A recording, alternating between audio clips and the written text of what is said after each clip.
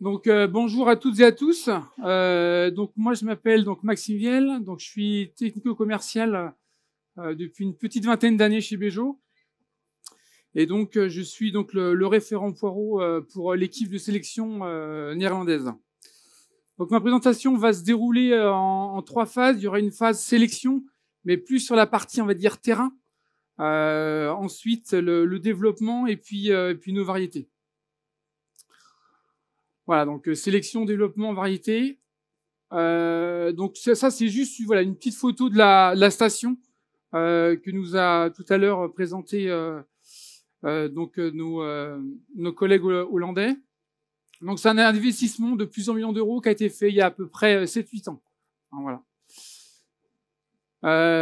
Donc je rappelle juste voilà Kessel, donc deux sélectionneurs avec qui voilà je suis en relation très régulièrement, donc Will et Peter.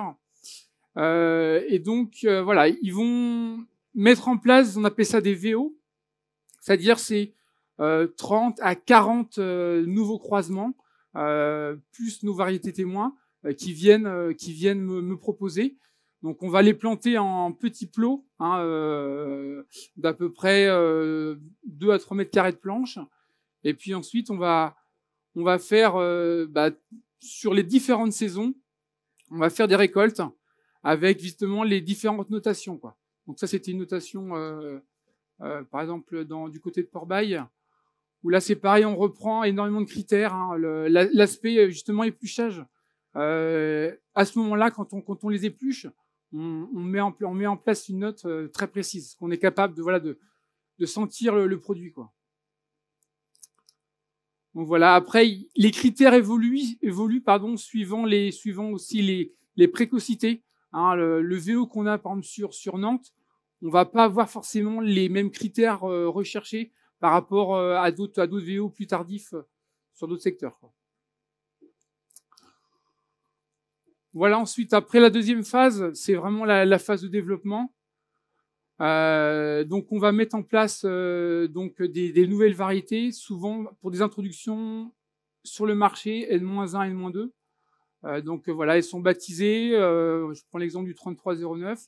Voilà, depuis l'année dernière qu'on a mis en place, on propose aux producteurs sur toutes les régions de France une, deux, trois caisses de la variété, voilà, pour qu'ils puissent attester en conditions réelles dans, dans, leur champ, quoi. et, qu'ils puissent la comparer par rapport à, à, leur variété témoin. Quoi. Euh, ce qui est intéressant après dans, le développement, c'est aussi de, pouvoir euh, évaluer euh, la variété à tous ces stades. Euh, C'est-à-dire que moi, par exemple, je fais pour certaines variétés, je vais faire, c'est moi qui vais m'occuper du SMI, donc ça me permet d'évaluer sur sur la variété, ce qu'il y a des différences entre variétés. Si on a une des bonnes germinations, si on a une vigueur de reprise dans le dans le premier mois après la plantation, et puis après aussi les évolutions de, maladies quand apparaissent les premières maladies, par exemple. Donc ça, c'est très très intéressant. Ça nous permet nous de collecter énormément d'informations pour ensuite après, bah, moi que je puisse ensuite derrière consolider euh, une fiche produit euh, pour mes pour mes collègues. Donc voilà, on va on va obtenir ce, genre de, de, fiche. Voilà avec euh, le nom de la variété euh, euh, et ensuite on va en fait avoir euh, on va noter les, il va y avoir des notes sur différents critères. Ça peut être la vigueur la précocité le nombre de jours à peu près de pour produire la variété. Et puis après bon la couleur et plein d'autres choses donc les variétés. Donc les variétés que je vous présente, ça c'est les variétés qu'on va que vous allez retrouver dans les champs tout à l'heure. Euh, il y a pour la région nantaise, je vais juste faire une petite aparté euh, parce que je sais qu'il y a des producteurs qui sont venus sur Nantes. Certains utilisent Fencer. On l'a pas mis dans la dans la plateforme parce que c'est une variété trop précoce, donc il a arrêté vraiment à sur maturité. Mais voilà, si bah, je voulais juste dire parce que c'est une variété qui est, qui est pas mal faite euh, là-bas et malheureusement elle sera pas elle sera pas présentée aujourd'hui. Donc en variété, donc fin d'été automne, donc biker. Donc voilà, c'est une variété voilà fût, court, euh, vigoureux avec un avec un fût dense. Donc euh, voilà, ce qui est, son, son gros gros intérêt, voilà, c'est son son fût court par rapport à sa précocité. hein, et une, très très bonne vigueur. Ensuite, on a Boiler qui est, une variété récente. Donc pareil, variété fin d'été-automne. Là, on est sur une variété qui est un petit peu plus longue en fût. on est aussi vigoureux. Et l'intérêt vraiment premier, ça va être vraiment sa, couleur foncée par rapport à, sa précocité. Et un feuillage aussi à noter qui est, souple hein, par rapport à d'autres variétés qu'on a pu avoir sur ce même créneau-là. Donc batteur, là on est sur des variétés, euh, sur des fûts encore un petit peu plus longs. Hein, ça peut convenir à, du process industrie par exemple. Hein. Ça peut être très intéressant.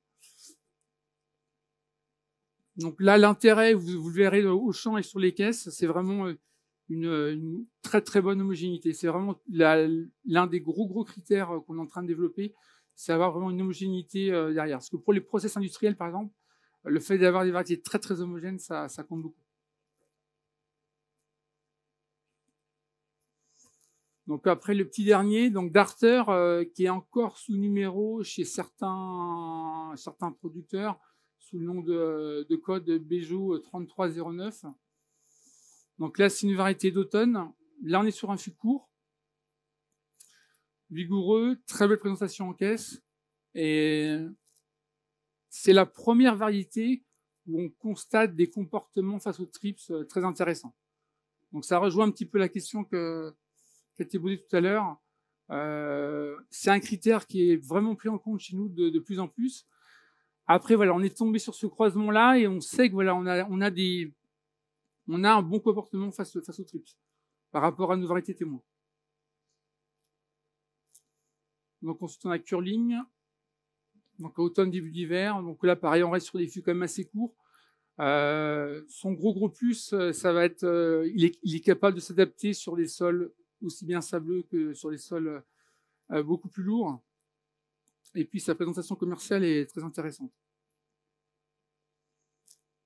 Donc Defender, donc variété un petit peu plus long confus sur des créneaux vraiment automne début d'hiver, hein, sur, sur, un créneau euh, fin novembre jusqu'à début janvier. Euh, gros intérêt, c'est son port très dressé, donc qui facilite la mécanisation. C'est très très important.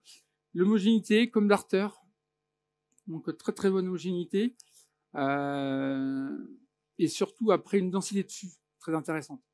C'est pas forcément des, gros diamètres de fût, mais par contre on est très très dense.